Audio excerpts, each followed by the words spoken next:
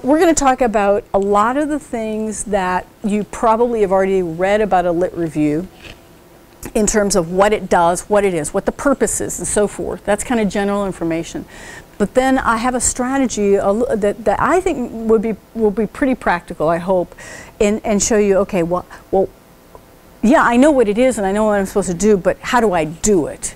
And then how do, when I get all these sources, how do I organize them? And then how do I actually write the darn thing because I think that that's where there's a lot of information that's missing.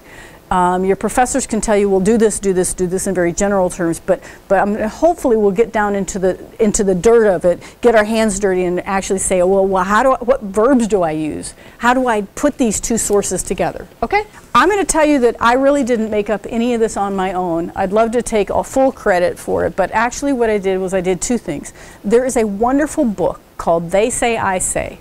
Okay? Uh, the moves that matter in academic writing. And it talks about how to use source material in your writing. It's actually directed at undergraduates, but I think it's so helpful and so practical that it's a book. It's like a, you know, about that thin. It's not big and it's not little print or anything like that, but it even gives you a list of verbs that may be helpful in terms of saying, okay, scholar X and we're going to go through some of these in the presentation as well. Then I found that a lot of times the examples that they give in this book are not helpful to graduate students because they're not in depth enough. And also, I had a hard time finding examples as well. So I found a literature review that's uh, in economics, which is not my field, which I found would be really better to pick a, a lit review that wasn't in my field at all and show you how it could work in any field. Okay, so what I did is I took almost all of the examples from this article, Socioeconomic Conditions of Property Crime. So those, what I've done is I've taken this stuff and this stuff and just put it together, okay? Well, let's just cover the basics, just to get started. What's a lit review?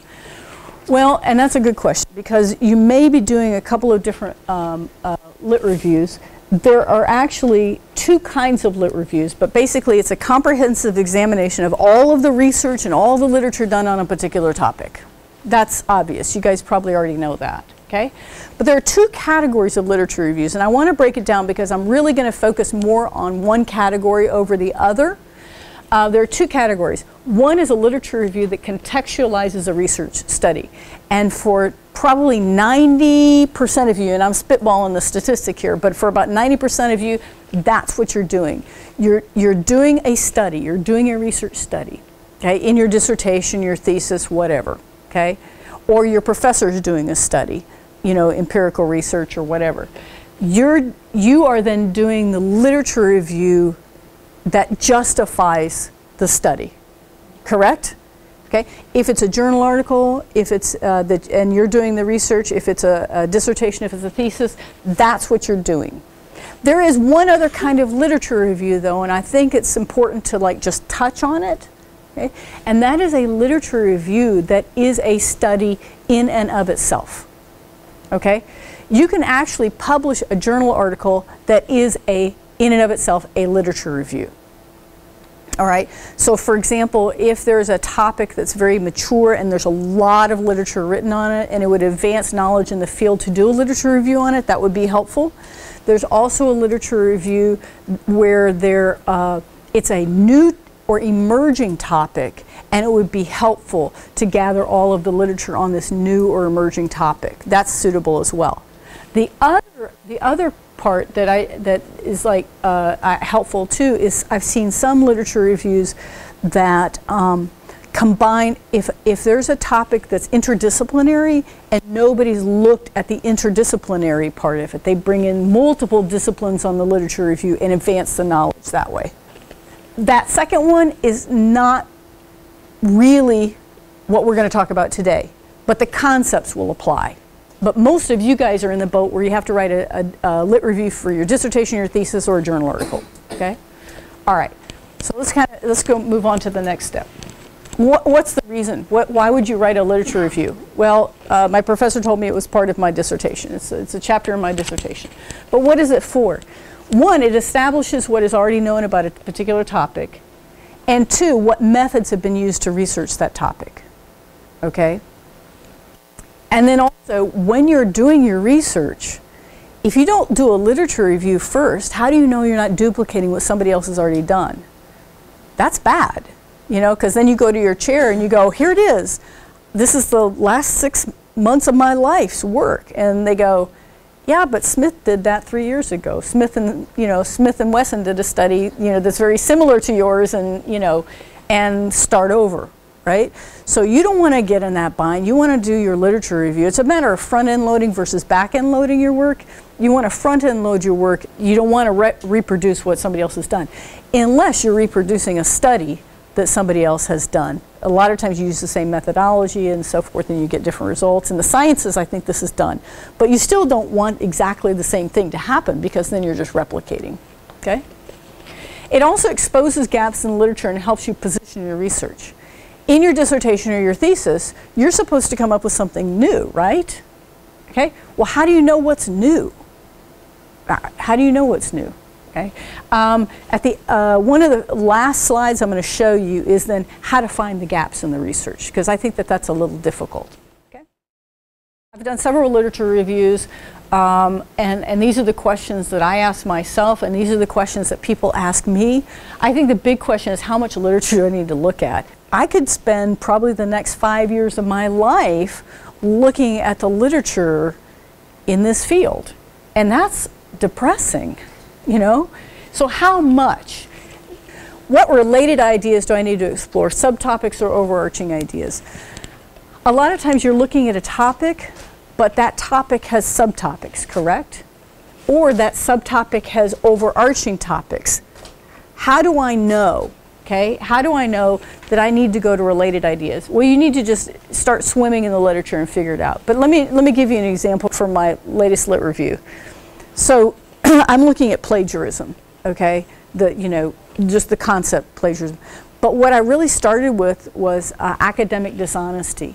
And I realized that that was too big a topic. And I got myself in the literature and I got myself just in, in a real uh, tangle because there was so much literature on it. I go, well, how am I going to write about everything? I can't. Okay, is there, is there a bigger topic that I need to, to look at? Or is there a subtopic that I need to look at? And one of the things we were talking about before, before this started was the idea that, that you're trying to decide on your dissertation topic and then you need to do your literature review. You may swap that. You may go ahead and start the literature review and then expose a gap in the literature and then find your dissertation topic. That's what happened to me and it was really helpful. Is there certain literature that provides a better couch for your study than others? And that's how you can also discriminate whether you're going to use a piece of literature in, in your li literature review okay? And, and a related uh, question that may be a duplicate question but more practical for you is why use a particular instrument for my study or why use a particular methodology for my study? Okay, in the hard sciences, you're, if you're looking at laminitis, which is really fascinating to me, if you're looking at laminitis, scientists have been looking at this for a long time. Have they been looking in a different way at the problem than you're looking at it? He's using a new method or approach. So why use a different method? Because the other methods haven't worked. See what I'm saying? You only know that when you look at the literature though. What's been done before to tackle my particular research topic or problem? The next step is finding the literature. That would be good. You know, some of you have found too much literature, and we'll deal with that in a few, a few slides. But finding literature, how do you know you can find? One of the things that I think, I'm, I'm going to show you the details of every, every one of these suggestions, but one of the things that I think is sorely underutilized is your subject specialist reference librarian. When I talk to the reference librarians and the subject specialist librarians, they go, we just want people to come see us. We love to work with people. And so they're like waiting for you. They're wait, you know, their arms outstretched. Let me help you. Okay, so take advantage of that. It's free. Okay. The other thing that I think is, is helpful is how do you find then also then good sources? I, I swim through those databases, the library databases, and I'm completely overwhelmed. How many of you guys find that to be true? I look in there and I do like a search, a, a topical search, and I get 18,000 hits. And, and I go through and I go, well, how, how do I even know that this is a good source? How do I even know that this is something that will be helpful to me because one of the things in your literature reviews, you, the question you ask, how much literature do I need to look at? You're not going to be able to look at all the literature if you have a big topic, correct? So how do you know who are the who are the scholars that you really need to cite? And how would you do that? really, you want the big players. You don't need to mess with the little guys. You want the big scholars, the big players in your field, correct? I don't know about you guys, but when I first research a topic, I don't know who the big players are. Do you? I don't know who the big players are.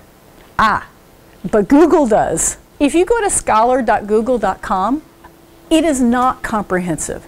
Your databases, your library databases, are a lot more comprehensive than this. But as a starting point, these articles come up, these books come up, and right here it says cited by, and there's a number. This says cited by 45, so that's 45 other scholarly sources cited that source. So if you're overwhelmed with the amount of literature you're looking at, you only want to find the big players in the field, right? So if it says cited by two, which that would be my journal article, right? You may not want to mess with it. But if it says cited by, you know, 60, cited by 200, right?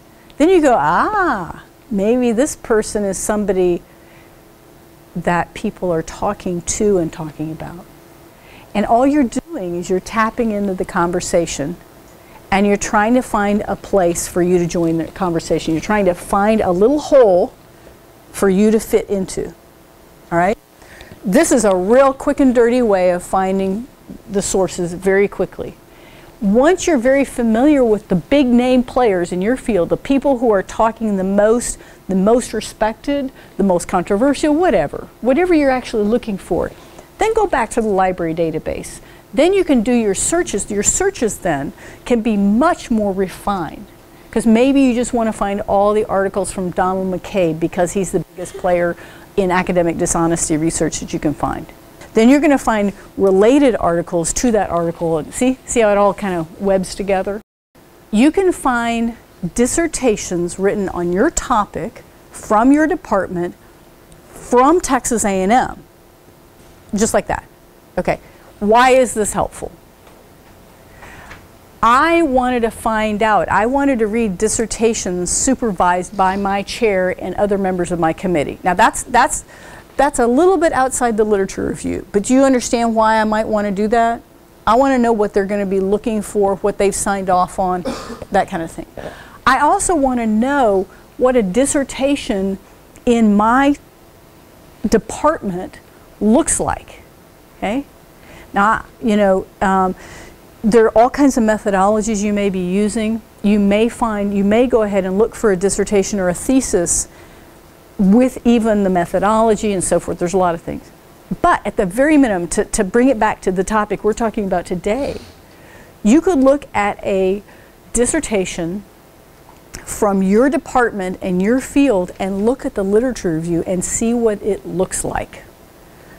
Particularly those where your chair or your committee members have supervised those other students, see what it looks like. See what your committee members are going to expect. Because let's be honest, you guys, you know, your committee members sign the paperwork, correct? Right? They do. And, and, and you want to be in line with their expectations. Okay? All right. So what you do here is you just go to the library, just the home page, you pick up the database one, it says search for databases, and it says ProQuest dissertation. So you can look for School Texas A&M University, you can look for the terms in the abstract, or you can actually look for the terms used in the document text. So, you know, your topic in, did anybody at Texas A&M in my department or whatever at Texas A&M write a, write a dissertation with this topic used in the, in the text? I think that this is astronomically helpful and a lot of people don't know about it. Um, and it's a way to do your homework before you do your homework. Okay? All right, where are we now? We know we have to do a lit review. We've gone to the library databases, we've looked at the subject librarians, we actually now have stacks and stacks and stacks of printed PDF files in our house, in our car, in the back seat. How do you wade through all of that stuff? Especially if you have a lot of it. Okay? Okay, so the deal is you want to find out what scholars are saying about your topic. And we already know how to find the good ones, how the big players, Google Scholar what are the ongoing debates or conversations on your topic? Okay?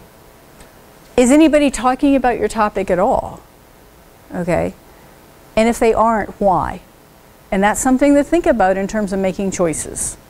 All right? If people are talking, who's talking and what are they talking about? This also helps you organize your information. You have a copious amount of information when you're doing your literature review. You have lots of information. And Brandy and I were talking about this earlier, that we gathered all the information, then we took a break from the literature review.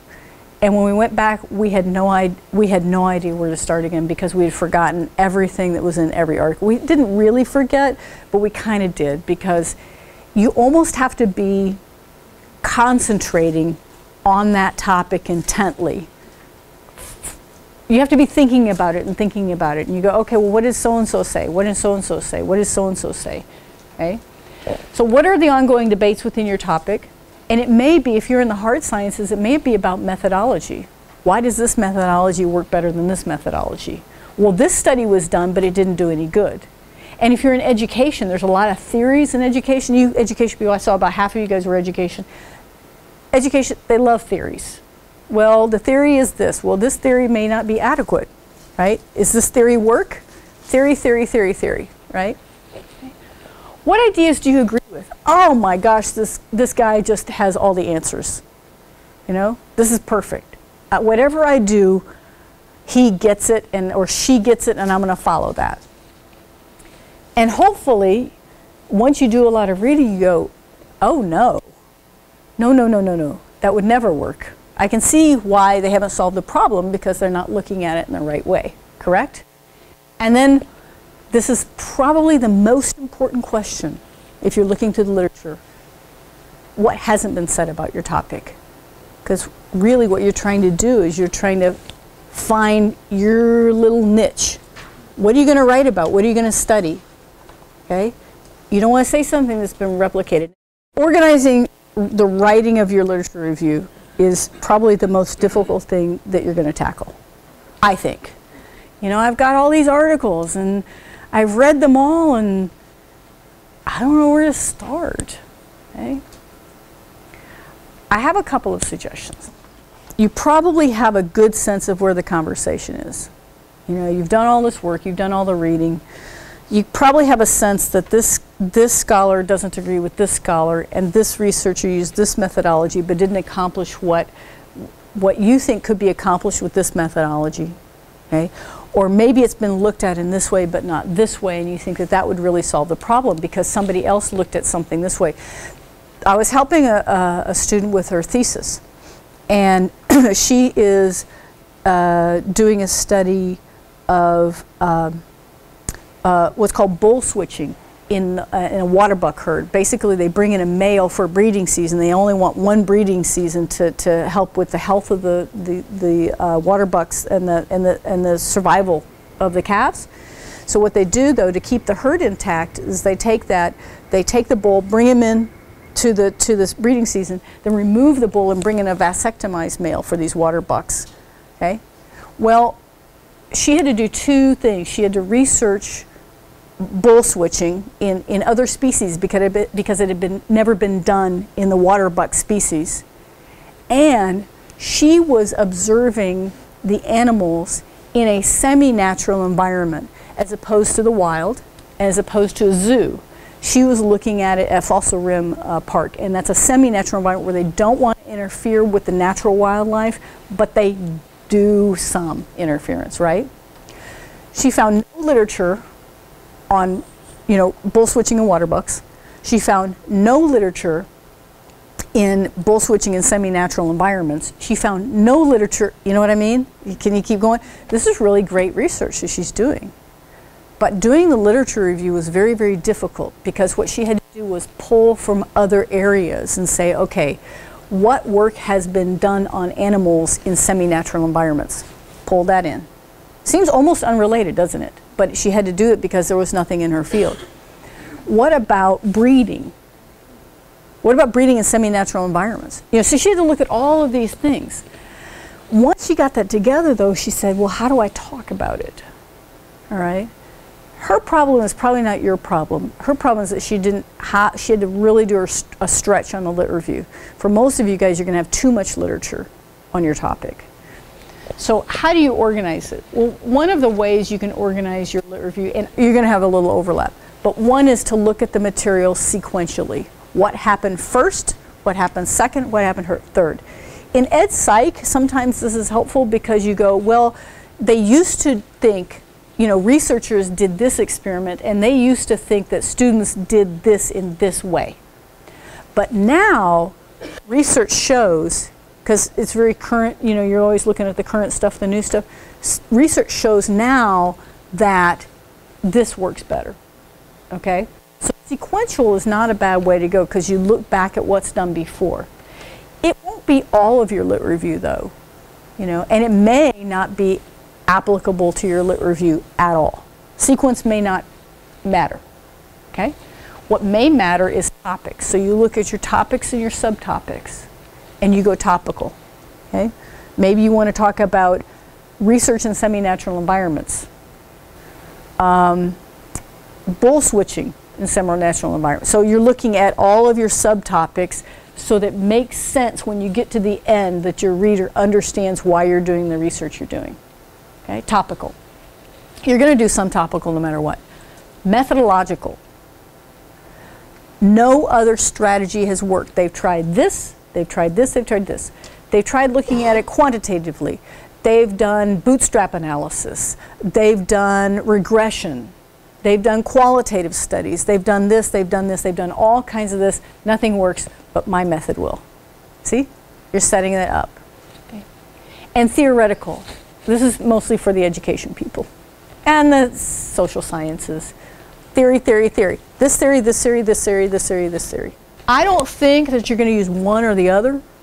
I think you're going to use a mixture of maybe all four of those, but it's a way to get started.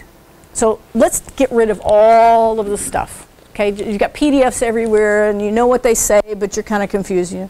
Okay, so I've got three articles that talk about this subtopic put them, put them down, put them over here. I've got three articles that talk about this topic. I've got four articles that talk about this topic. And I have one article that debunks all of those articles. So then you have something to write about. You can write at least a couple of pages.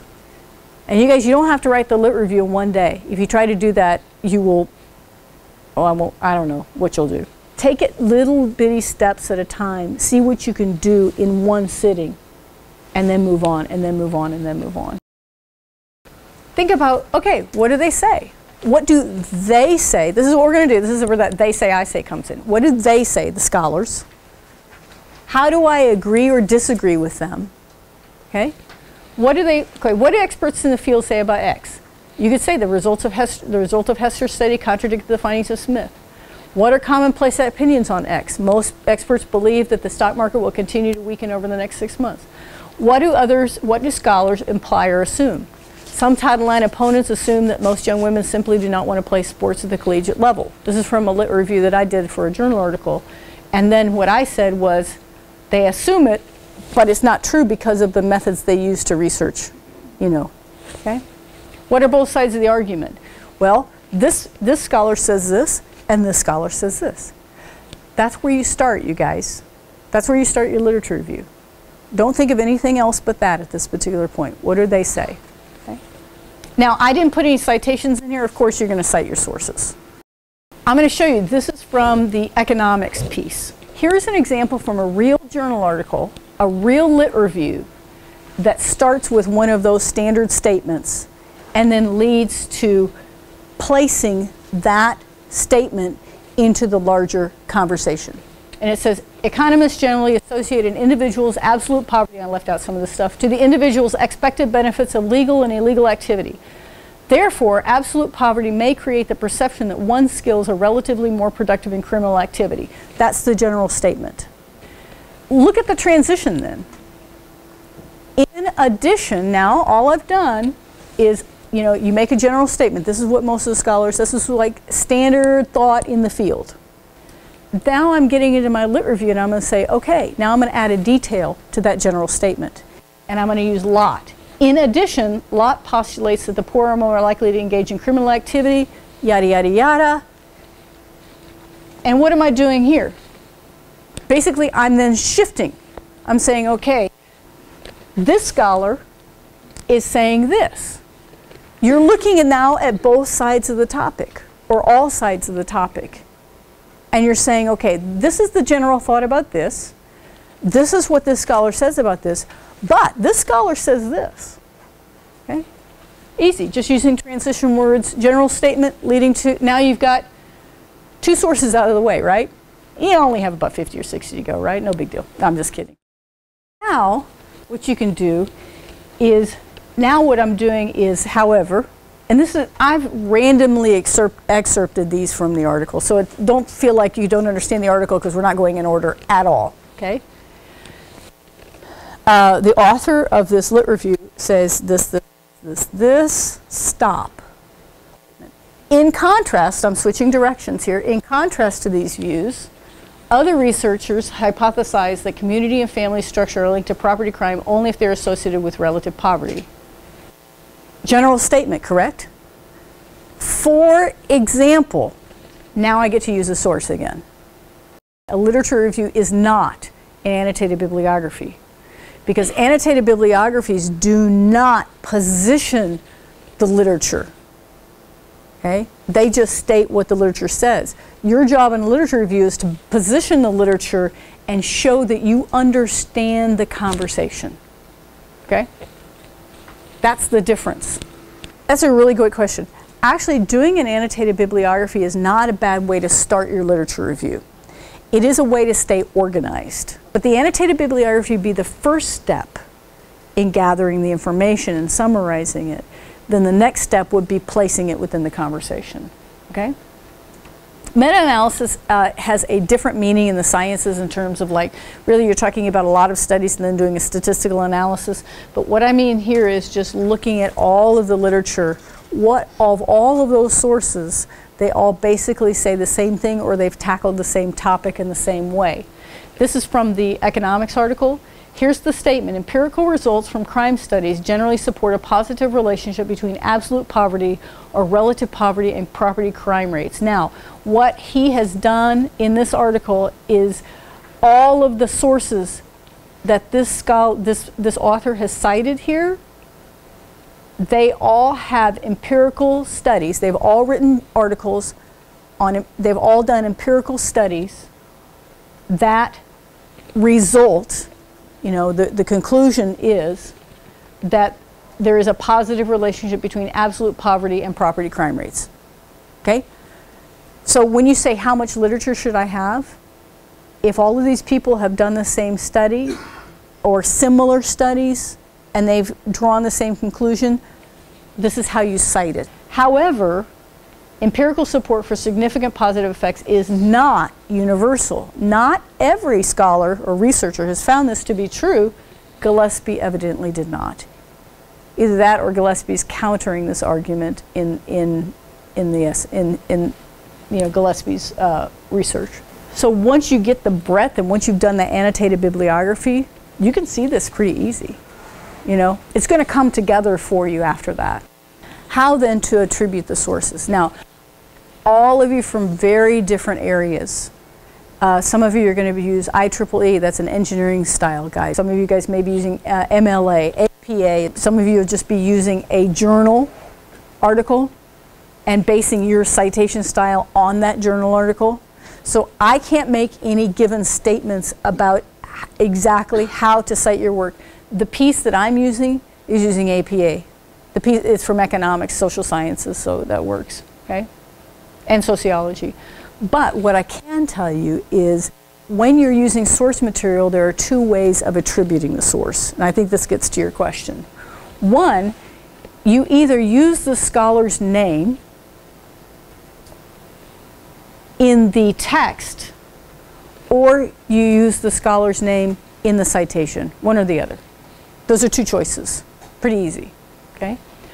My first one says scholar X, and now here's a list of verbs you could even use. Scholar X acknowledges, agrees, argues, believes, claims, concedes, demonstrates, disagrees. That's a whole list of verbs. You can use any of those. They're free. Pick them. Use them. No big deal. That's used in social sciences more because if you're talking about theories, there will be a, a person or a scholar associated with that theory. Does that make sense? If you're in the hard sciences, a lot of times that is going to come in the next one. Attributing sources within the citation. Transformational learning, although that's not the example I used, but transformational learning creates an opportunity for learners to experience a life-changing moment which will alter their worldview, Smith 1997 a lot of times when you're talking about sciences, you're talking about this methodology was used in this research, yada, yada, yada, yada, maybe using the passive voice even, I don't know, and then you'll, you'll put the citation at the end. Um, some of you guys use the numerical citations, the science citations where you use the one, two, three, and then you just go back to the one every time you re refer to that source. There are all kinds of ways to cite materials, but there are really only two ways to attribute, in the text or in the citation, one or the other. Yeah, this that's a really good question. What I think is you're going to use you're going to need to use common sense because what's most important is that the reader understands where that information comes from. So if you have a paragraph and it's coming from three different sources, if it's a meta-analysis, they're all saying the same thing, they all have the same results, you can put it at the end, right? But if you're mixing it up and you're talking about this idea or this result, and then you're going to another one, put the citation right after the sentence. Then go on to the next idea, put the citation right after the sentence, and then so on. Because what's really important is you don't want to deceive the reader regarding where that information came from. It can really mess you up. Like I said, if it's a meta-analysis, you can wait till the end. If it's one source and one paragraph, it seems usually it's pretty clear that all that information came from the same source. You can usually go ahead and wait for it at the end. If you're in the social sciences, what I do, just to make it really clear, in education, social sciences, humanities, history, those kinds of topics, I then say scholar X says, yada, yada, yada, yada, yada, yada, yada. Okay? If you're in the hard sciences, you may not be using scholars' names to be referring to your literature. Then you're going to want to wait till, till the end. But I want to make it clear to my reader that this is so-and-so's theory. Okay? if you use quotations, a lot of you guys won't be using quotations, but if you do use quotations, here are some really easy way for entering, uh, uh, just attributing your, your quotations. Okay? Scholar X states, says, writes, complains, and then the example is yada yada, and then scholar Y disagrees, saying humma humma. You can also go back to that list of verbs and just put any of those verbs in there that are appropriate. You definitely don't want to throw a quotation out there uh, and let the reader interpret it. It's not the reader's, the burden of proof, the burden of explaining the quotation is on the writer, not the reader. So you go, this is a really cool quote. It says everything I wanted to say. It's so important. I have to use it. It's brilliant. Okay? After you say it, or before you say it, you're going to want to explain it. Well, you know, this is a lot of information. A lot. How do I guide my reader through all of this information? Because it's pretty easy to throw the literature in here, but it's really difficult to make your reader understand the way it goes. You need a roadmap, right? Like that's what we were talking about the however. Now I'm turning directions. In contrast, in addition, I'm going the same direction. However, I'm changing directions. Therefore, I'm drawing a conclusion. See what I'm saying? You got to guide your reader. Okay? Because your reader, if your reader gets lost and your reader is your chair, you're starting over. So, I have three ways of doing this when I write. Okay? And I, and I think these are pretty helpful. You, you can use pointing words. First of all, you want your topics to flow together. But that's why we're talking about sequential, methodolo methodological, and those kinds of things. Now we're getting down to the sentence level stuff. rather than the paragraph level stuff or the page level stuff. Now we're getting to down to the sentence level stuff. Pointing words, transitions, and conjunctive adverbs. Using pointing words. Pointing words refer back to a concept you discussed in the previous sentence. You want your reader to know that you're really still talking about the same idea, but you want to avoid ambiguity. Sometimes if you use the word this, these, your reader doesn't know what this is referring to. If you use it alone, it should be absolutely clear what idea your pronoun is referring to. You can name the pointer as follows to avoid confusion. So if you're talking about the debate between scholars on this topic, you could say, this led to yada, yada, yada. But if this is not clear what it refers to, you could say, this debate, this argument, this uh, methodolog methodological process. You know, whatever you're talking about in the previous sentence, use a pointer to carry your reader in that direction. Okay? This debate is not settled because each of these theories has both empirical support and opposition and then the citations. All right? I'm going to just show you a couple of transitions and, and just some things that you can do. And I got this from the Lit Review from that economics piece. In contrast to, great transition, in addition to, okay? In con, eh, you know, all of these things guide your reader. Oh, now I'm changing direction. Now I'm going the same direction. Now I'm drawing a conclusion. You need to pretend that your reader is not very bright. That's what my professor told me. He goes, You're really making a lot of assumptions about how bright your reader is. And I was like, Well, I thought, I thought so. You know, no, make a roadmap, make it explicit where you're going. Now I'm changing direction. Other authors claim that absolute and relative poverty have only conditional links to property crime. So I'm going through here. In contrast to these views or theories postulating a negative relationship between absolute or relative poverty and po property crime, yada, yada, yada, and this is what everybody thinks. But other authors claim that they only have conditional links to property crime. And I'm proving that by citing the literature on that. I like this example because this debate looks at both content and method. And sometimes you will be looking at disagreeing with the content and the method of what, what's going on. This debate, the pointing word, right, is not settled because each of these theories has both empirical support and opposition. You saw that before. Even Cantor and Land's attempt to combine these opposing views, like, okay, there's support and opposition. Now there's a study done that tries to combine the support and the opposition but Hale and Saba criticized Cantor and Land's methodology in their study. That's getting down to the detail, isn't it? If you get this far down into the argument, you are almost ready to take your place in the conversation, correct? You know enough about it to know where the controversies are, what's been done, what's not been done, and now what your topic is going to be. Okay? Finally, the point of the lit review is to get to your dissertation topic or your thesis topic or your journal topic. You're justifying it.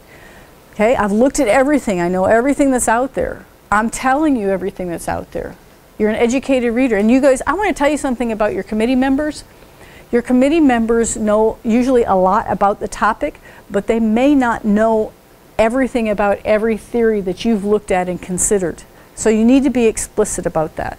I knew that I had to be very, very explicit in my literature review because I was making the assumption that all my committee members knew everything about everything I was doing.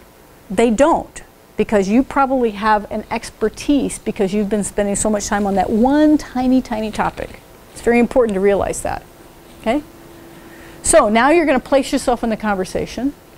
Your voice is going to be a part of the conversation, and then you're going to show how you built on all these ideas to justify your own topic. Okay, so we've talked a lot about what other people say. As you do your literature review, what do you say? Well, the theory works. Theory works. I like what you said. You said, well, they haven't been using uh, the right methodology, and that's why they haven't gotten to the root of the problem. So I'm justifying my study that way. Piece of cake. Easy. All right?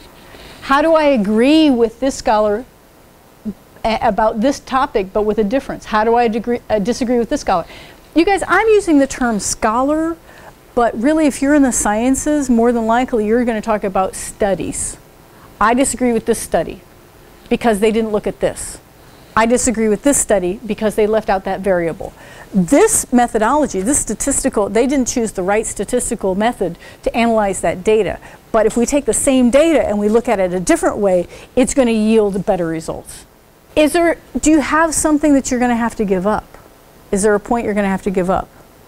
You know, there's some things where I'd said, well, I would love to do this, but that is not possible. So I'm doing this because it's as close as you're going to get to that. How do you justify a short study or whatever? And then how do I impart the importance of my argument? You should be passionate about what you're doing. The other thing you're going to want to do is draw conclusions. So, so you put yourself in the argument and then you draw conclusions. Say, this is what I'm going to do. I've looked at all the literature. I know this, these are my parameters, constraints, and this is what I'm going to do. This is another way to get yourself in there. Exposing the inadequacies of the current theory. The empirical literature on the impact of young population on crime rates is not as decisive as these theories would suggest. Gosh, you know, the conclusions are not that great. Maybe there's a new study out there waiting to happen. And then sometimes you have to just yank a gap in the research. Sometimes you find a gap in the research, sometimes you just have to make a gap. This is how to make a gap. The theoretical literature does not consistently support a particular relationship between property crime and socioeconomic conditions. Limited by the particular theory and related variables chosen for analysis, the empirical literature often provides support to opposing theories. So, what you're saying is the, the theoretical literature, there, there's not really consistency there, and the empirical literature also shows, has different results. So hmm, what am I going to do for my study? Maybe I'll come up with a new theory, or maybe I'll find a theory that hasn't been looked at and tie it to an empirical, you know, this is where you kind of think. You play with it, you play with it, you lay it out on the table and you go, what's not been done? What's not been done? And where are the holes? Okay. Sometimes you just find that things haven't been studied, and that's so awesome. Okay? Not analyzed in cross-sectional and ignored in most time series studies, empirical evidence on an inflation effect is meager. Is meager. It's not out there. Ta-da! I have a dissertation topic, right? I have a journal article just waiting to be written because I've done all the literature review and I'm brilliant. Positioning your research, if you're doing a journal article, if you're doing a dissertation, if you're doing a thesis, what you're doing is you're exposing all the gaps and then you're going to put yourself right in that gap, right in the hole. Okay, sweet spot. If contextual and situational issues play a significant role in determining the level of academic integrity in their classes, as McCabe asserts, and I've spent, in this particular piece, I spent several paragraphs proving that point. Okay, I didn't just make it up, you know. Then faculty are an important part of the academic integrity equation. Research on faculty perspectives on cheating in general and plagiarism in particular are few and far between, and then I cite a bunch of people. Therefore, right? I'm drawing a conclusion. I'm placing myself in the research. Nothing happening in the research on this topic, people. Therefore, it is the goal of my dissertation to focus on the insights, views, and perceptions of the faculty, an often forgotten component of research studies on plagiarism. I just justified my topic, right? To gain greater insight into how faculty perceive issues of plagiarism in their classes, and even more importantly, how they exist and teach, da da da. Now I've got my research questions as well in the second half of that sentence we've looked at it a very macro way. But then we've gotten down and looked at the very, very fine details about how to write this thing. We spent a brief time talking, well, brief time talking about actually how to pull this off. But I'm not going to lie, it's a lot of work, you know, and you're going to find times when you get really frustrated. Um, and you're going to find times when you go, I'm so overwhelmed or underwhelmed because I can't find a darn thing on this, you know, that I just don't know how I'm going to, you know, move on. Um, just breathe. That's my advice. Just breathe and try not to tackle everything in one day. Say, I'm going to work on this topic today, or I'm going to work on finding a source that will tell me. I'm going to find that source that's going to tell me if my three month study is, is adequate. You know, or I'm going to tell I'm going to find a study that's going to help me find this or I'm going to put together all of the arguments like against this way of doing things. That's a good day's work, don't you think? That's a whole day's work right there. And if you do that, take the next step the next day or the next week, the next step and the next day. It's, it's daunting. And, and if you don't break down the task, it, it, it, it tends to be um, uh, bl- blocking. You get so overwhelmed with it that you're that you have you're blocked. Um, back up, breathe. Use just some specific strategies from this, and go one. I'm just going to do one thing, and I'm going to do one thing here. Now, when you get to step nine or ten, you may go back to step one. I'm going to redo step one, but at least you've already gone that far. Okay, don't give up. You know. Thanks for coming. Sure appreciate it. Bye-bye.